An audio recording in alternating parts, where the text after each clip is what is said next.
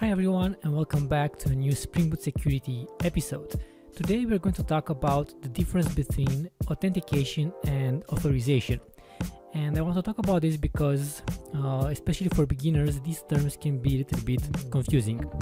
Before we begin, I would also like to remind you to hit the like button and subscribe to this channel in order to stay tuned for more software development courses that will sharpen your programming skills.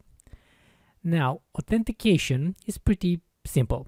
Now, authentication is all about who you are in the context of an application. So you are a user inside an application. You are, think about your email address.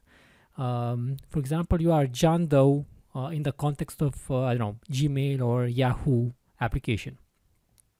Now, authorization, on the other hand, is about what you are allowed to do in the context of an application. So, for example, if you take the email analogy, uh, after you sign in your email app, you are allowed to send mails, to read emails, to put tags on them, and so on and so forth.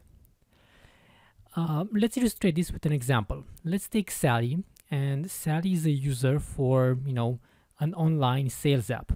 Now, Sally works in the sales department. So, the first thing she does when she arrives to work is she wants to sign in uh, the sales app. So Sally signs in with her credentials, and if those credentials are correct, we say that Sally is authenticated. Now, Sally also has some rights inside the sales app.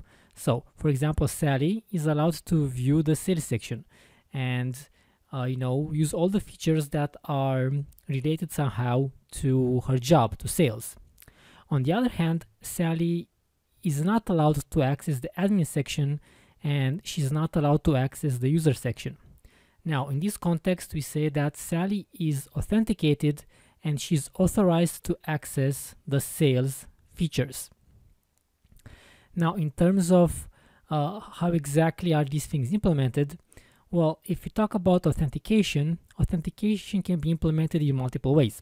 So we can have HTTP authentication, we can have forms authentication, which is the most common. It's, you know, when you type in your username and password in a login form, we can have, you know, authentication based on a certificate, uh, or we can use tokens for authentication. So each, uh, the method is not important, but the outcome is the same. Authentication identifies you as somebody in you know an app. Authorization, on the other hand, is all about you know uh, privileges or authorities and about roles. So based on your privileges or based on the role you have inside an app, you are allowed or not allowed to do certain things. Before we close, I would like to remind you to subscribe to this channel and stay tuned for more software development tutorials that will sharpen your programming skills just go to the Romanian Coder YouTube page and click on the subscribe button. Also, if you found this video useful, please hit the like button and share it with your friends.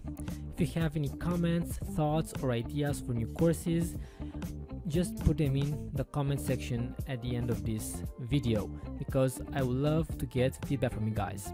You can also find me on Twitter at Romanian Coder, and you can also check out my blog www.romaniancoder.com. Until next time, have a great day and write amazing code. Goodbye.